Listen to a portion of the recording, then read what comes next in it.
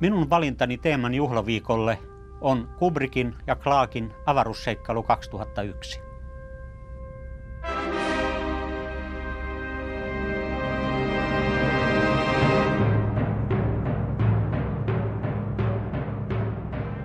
Kolmastoista lokakuuta 1968 sunnuntai. Minun oli määrä mennä Sinerama Savoihin katselemaan Kubrickin 2001 A Space Odyssey puoli kuudeksi. Olin huolissani, ennättäisimmekö sinne ajoissa, mutta huoli oli turhaa, sillä lippuluukkujen edessä oli vielä parikymmen henkinen jono.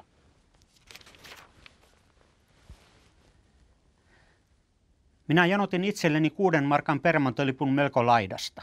Lukunottamatta etumaisia rivejä oli teatteri aivan täysi. Kuva lähti käyntiin vasta vähän vaille kuusi ja henkeä salpaavalla tavalla lähtikin. Kaikkien teknillisten hienouksien, avaruus- ja kuumaisemien, painottomuustemppuinen ja niin edelleen laatu oli suorastaan huimaava.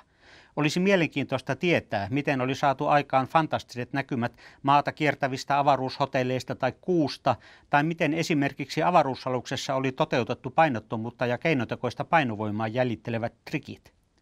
Pienten yksityiskohtien lukumäärä ja laatu oli niin järkyttävä, että helposti huomasi Clarken, ennen olisi tiennyt, olisin kaikista tieteiskirjailijoista veikannut juuri häntä vaikutuksen. Yhdellä katsomisella oli mahdotonta kiinnittää huomiota kaikkeen, kuvaukseen, teknillisiin hienouksiin, yksityiskohtiin ja yleisvaikutelmaan.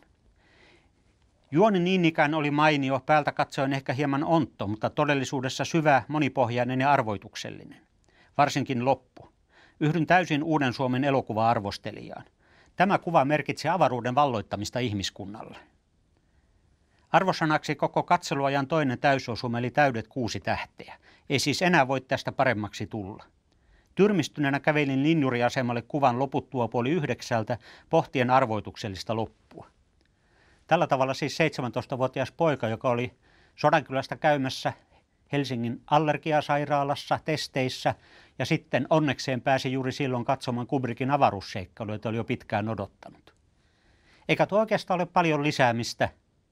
Nyt sitten mä tiedän, minkä vuoksi kaikki oli niin nappiin mennyt, miksi ne trikit ja muut olivat niin hyviä. Kubrick teki suunnattoman työn saadakseen kaikki, joka ikisen pienemmänkin yksityiskohdan kohdalleen. Hänellä oli sellaisia asiantuntijoita siellä mukana kuin Maavin Minski, keinoälytutkimuksen johtaja. Alussa, kun puhuttiin ihmisapinoista, hän oli kysynyt Richard ja Louis Leakiltä, johtavilta ihmiskunnan esiisien historian, esihistorian tutkijoilta, miten tehdä, miten saada tästä totuudenmukainen. Avaruutta kontrolloivat Frederick Ordway ja Harry Lange. Molemmat olivat olleet Nasalla työssä, molemmat olivat privaattien avaruusfirmojen johtajia – Kaikkia hän kysyi yli 65 valtion laitokselta, tutkimusinstituutilta, yliopistolta ja muulta instanssilta neuvoa pienimmästäkin yksityiskohdasta ja se lopputulos näkyy. Ja tietenkin kaiken takana oli Arthur C. Clarke, niin, sanotu, niin, niin sanotusta kovista tieteiskirjailijoista, kaikkein pätevin. I know everything hasn't been quite right with me. But I can assure you now very confidently that it's going to be all right again.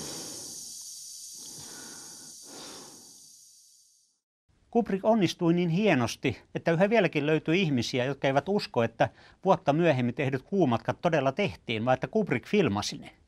Niin kuin Red Hot Chili Peppers 30 vuotta myöhemmin lauloi Californication laulussa Space may be the final frontier, but it's made in a Hollywood basement – niin uskottava oli tämä Kubrickin saavutus. Vuotta myöhemmin ihminen seisoi kuun pinnalla.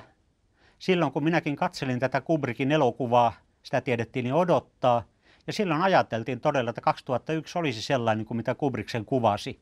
Avaruushotellit ja kuumatkat tulisivat arkipäivä ja oltaisiin menossa jossakin jo Marsissa ja Jupiterissa. Niin ei käynyt, mutta kun katsoo tätä Kubrickin filmiä, niin voi kuvitella itsensä takaisin siihen loistavaan tulevaisuuteen, joka 60-luvulla avaruuden valloitusta näytti odottavan.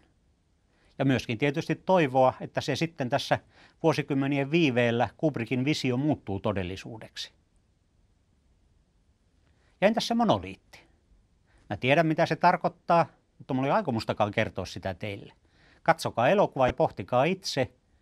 Ja jos ei käy se selville elokuvasta – Lukekaa kirja. Hyvää katsomisiltaa.